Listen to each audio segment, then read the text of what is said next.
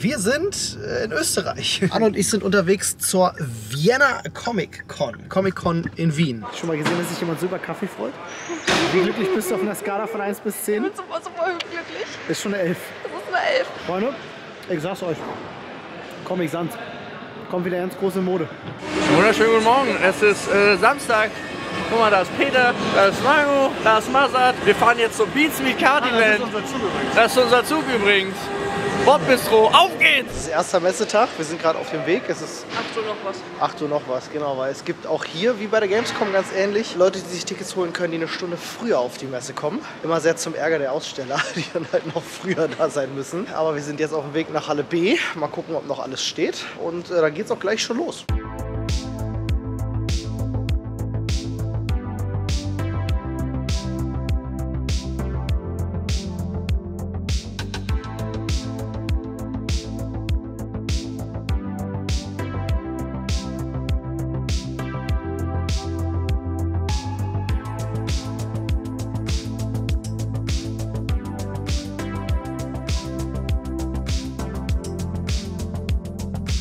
Freunde, wir haben uns gerade mal ein bisschen Backstage geschlichen. Katja ist auch da. Hallo! Und schaut mal, ist total geil, weil man hat hier vom, vom Backstage, hast du quasi aus so einem gläsernen Kasten heraus kompletten Blick über die gesamte Messe. Das ist echt ganz geil. Da, da hinten, da ist Annes Stand, genau da. Jetzt kann man da oben mal ins Restaurant reinschauen. Schau mal, Jetzt sind wir auf der gleichen Höhe.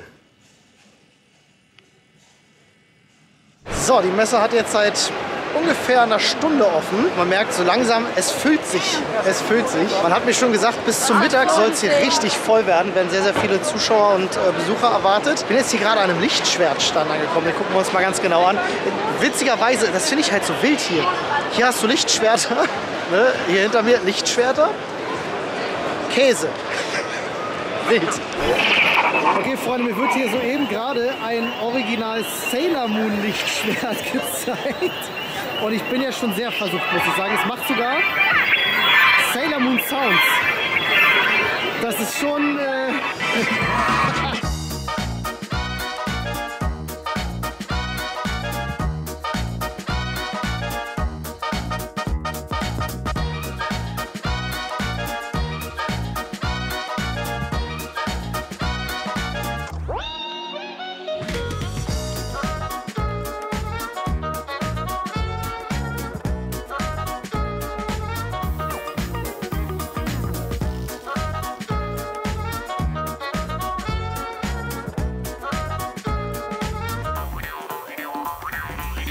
schaut mal, wen ich gefunden habe. Es ist der einzigartige Kim TNT, Schöpfer diverser Musikkunststücke und unter anderem unseres Podcast-Jingles. Also wer unseren Podcast hört, hat die Musik dieses Mannes bereits in seinen Ohren vernommen. Schön, dich mal zu treffen. Hast du einen Tipp für mich? Ein Wort, ein wienerisches Wort, was man wissen muss. Orchkastelschwab, aber das kannst du sicher sein. Orchkatzenschwabe? Orchkastelschwab. Ja, okay, das ist äh, der Schwanz eines Eichhörnchens. Ja, genau. Also das Ich ist der Klassiker. Ich habe gehört, Der kommt sicher. klar, Uhr ist, ist gut so, Ja, also Uhr. für sehr. Ur, Euler, Oder? ähm, Org ist auch Org? gut. Ja. Also ist Org? Arg. Ah, ah Ja, Org. Ur, Org, Euler, alles klar. Wieder was gelernt. Ja. Können gerne alle winken. Aber wenn jetzt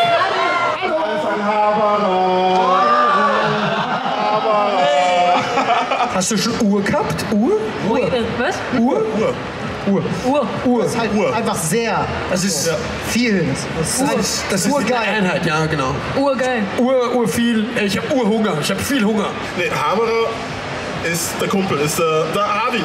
Freund. Abi, der Abi. Abi. Ja. Abi, was geht? Okay. Ansonsten ist der Haberer, was geht? Und wenn ihr an Kasten denkt, was würdet ihr denken, was ein Kasten ist? Ein Bierkasten. Ich hab's gewusst, dass das kommt. Ja, ja, oder? Was hättest du jetzt gesagt oder auch? Nee, eigentlich nur so ein Schrank, der wie ein Kasten aussieht. Okay, gut. Ja. Und du, was hättest du gesagt? Der Kasten ist halt eine kleine Box. Also meine Freundin hat auch eine, so eine Truhe gesucht. Ja, ja. Und sie hat dann gesagt, ich kann jetzt aber nicht fragen, was suche ich. Und dann hat sie aber, und dann hat sie aber bemerkt, dass Kasten äh, Schrank halt auch heißt. Ne?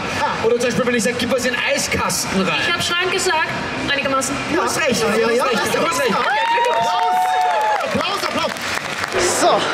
Wienerisch Kurs erfolgreich hinter mich gebracht, habe viel gelernt. Konnte gerade zum Beispiel Annes Stand gut vermitteln, als jemand nach einem Sacker gefragt hat und ich erklären konnte, Moment, das ist eine Tasche. Freunde, Äh, ich gehe mir jetzt erstmal schönes 60er, äh, 16er Blech hinter die Binde ballern und. Nee, Quatsch. Ich habe eine Mission. Ich muss jetzt für Flo ein paar Yu-Gi-Oh! Karten besorgen und für mich ein paar Magic-Karten. Das heißt, ich mache mich jetzt auf den Weg, mal zu gucken, wo es Yu-Gi-Oh! Karten gibt. Mal schauen, ob ich fündig werde. Freunde, wir sind jetzt in Recklinghausen angekommen. Die Reisegruppe ist super glücklich. Ich freue mich so sehr. Yay! Denn wir verlassen jetzt den ICE und gehen über in den Regionalexpress. Der uns nochmal irgendwo hinführt. München-Gladbach, stimmt, da ist unser Ziel. Und dann äh, geht's los. Zu den Fohlen. Fohlen. Was? Fohlen? Zu meinen Fohlen. Ist wahrscheinlich Fußball oder so ein Scheiß. Freunde, Qualifying meinerseits ist durch. Dave und ich, wir haben äh, eigentlich relativ gut performt. Wir sind jetzt gerade von Fischi abgezogen worden. Wie man da oben schön sieht. Das ist der beste Zeitpunkt, um zu filmen. Jetzt sind nämlich erst vier Leute im Qualifying gefahren. Wir sind Platz zwei und drei. Platz 2 und 3. Die haben keine Chance, die anderen. Keine Chance. Wir werden dann sehen, wie das Endergebnis war. Aber ich wollte euch ganz kurz mal hier rumführen. Weil das ist super schön. Da hinten Minigolfanlage haben wir auch schon gespielt. Hier zum Beispiel auch ein schöner Jules, der hier das alles mit organisiert hat. Ja, die zum Beispiel krass am Moderieren. Lena krass am Organisieren. Dave krass am Produzieren. Ich kenne ihren Namen nicht, aber sie ist krass am Kamerazieren. Und hier läuft's rund, meine Damen und Herren. Und da hinten, da hinten findet noch die restliche Magic statt. Hier hinten ist Action. Sonja macht sich schon ready in ihrem Kampfoutfit. Ist eigentlich Ninja, ja, könnte man sagen. Wow, krass, oh, krass. Ich habe vergessen, dass du so super sportlich geworden bist. Ey, Gratulation. Stark. Stark, Arthur. Mango auch schon wieder Killer-Modus. Mazat auch Killer-Modus. Momentan Team Rot dadurch erster Platz, ne? Muss man sagen. Haben hier durchgeführt. Hier übrigens nochmal ganz kurz die Partner, die das unterstützen. Grüße gehen raus, immer wieder gut. Leon hat hart die Bande geküsst, aber herzlichen Glückwunsch. Ja, ich es sah muss, sehr ich gut musste aus. testen, welche Kurven kann man mitnehmen, welche nicht. Okay, das hat er gut getestet. So, da hinten fährt jetzt unsere Lena. Wer ist, das, wer ist der nächste? Franzi und Lena fahren zusammen. Das wird spannend. Ich bin gespannt auf die Zeiten. Die Zeiten gehen los. Da, hier, Bestzeit 45. Momentan sind wir immer noch auf Platz 2 und 3. Dave und ich sehr froh mit Arthur. Platz 1, 2 und 3. Ja, wird gut. So viel ein bisschen behind the scenes. Ich guck mal kurz in die Live-Regie. Bestimmt sind die tierisch genervt davon. Aber wir gehen trotzdem rein. Ich habe den Stand endlich gefunden und die Auswahl ist krass. Ich könnte viel zu viel Geld ausgeben. Aber Paul, mein Gott, wenn du hier wärst, schau mal bitte, was da an Lokana-Karten gäbe. Ah, wärst du froh. Vielleicht bringe ich dir einfach was mit, Paul. Wäre doch eine Idee. Okay, äh, der Tag neigt sich so langsam dem Ende zu, aber es wird immer verrückter. Äh, ich habe gerade tatsächlich äh, Yoshitaka Amano treffen dürfen, der jetzt gerade witzigerweise wieder hier sitzt und äh, Autogramme gibt. Habe ich gerade hinten im Backstage-Bereich getroffen und äh, der hat uns vier Artworks äh, gegeben von sich, also Originale, die wir nächstes Jahr für Loot für die Welt versteigern dürfen, für guten Zweck. Freue ich mich sehr. Vielen Dank nochmal. Konnte leider nicht filmen, war mir unangenehm, um ganz ehrlich zu sein. Da werde ich dann auch mal zum Fanboy. So, Freunde, ich habe jetzt gerade den Stand von meiner Frau übernommen und sitze jetzt hier und guck mal, wer was haben will. Aber da gerade keiner da ist, nutze ich die Pause mal und zeige euch, was ich alles ergattert habe. Die Bücher habt ihr ja schon gesehen. Für den guten Marco fantastische Warmer 40.000 Astra Militarum Duftkerze. Außerdem habe ich hier für den guten Flo, dem habe ich nämlich geschrieben, was er haben möchte. Wir haben hier einmal ein paar Booster Yu-Gi-Oh! 25 äh, Anniversary Edition Dingsbums hier Dark. Neostorm wollte er einmal haben und einmal Dark World Structure Deck. Bringen wir ihm natürlich mit. Ja, und außerdem äh, viele leckere Süßigkeiten an so einem Stand mit amerikanischen Süßigkeiten. Das darf natürlich nicht fehlen. Ja? Leckere Süßigkeiten aus Amerika. Viel zu süß, viel zu ungesund, aber irgendwie dann doch ganz geil. Muss sein. Hier übrigens nochmal der smarteste Stand der Messe für alle Cosplayer. Nächcenter Egelwolf Norbert. ist wirklich gut, dass Sie hier sind. Ja, ich glaube, die waren wahrscheinlich schon viel und haben sich ihre Cosplays fixen lassen. Erste Promokarte habe ich mir gerade am Stand gesnackt. Paul, ich hoffe, ich hoffe, du weißt es zu schätzen, ein Pinocchio. Und ich bin jetzt hier exklusiv bei der Anspielstation. Wir spielen jetzt zum vierten Match. Da hole ich dir deine zweite Promokarte. Und meine Mitspieler, ich begrüße recht herzlich. Hallo, hallo. Hallo. So, wir haben vier Decks vor uns. Jetzt wird eine Runde Lorcana gespielt hier. Richtig. Dann geht's weiter. Alright, Freunde, ist ja meine erste Runde Lokana. Vorhin habe ich gespielt. Sehr interessantes Spielprinzip. Äh, ohne Lebenspunkte, sondern tatsächlich eher so mit Erkundungsmarken. Ist sehr, sehr cool. Gefällt mir sehr gut. Lässt sich auch, ihr seht es ja gerade, mit drei anderen Personen gleichzeitig spielen. Kein Problem. Ja, merke hier aber schon den Pressure am, am Tisch. Ne? Hier, also ist schon, ihr seht schon, da ist schon einiges ausgespielt und äh, ich glaube, jetzt wird's wild. Ich mache den Prinzen zu einer Tinte. Okay. Damit habe ich zwei. Und jetzt spiele ich die Megakarte, die hier alles gewinnen wird. Hey, hey.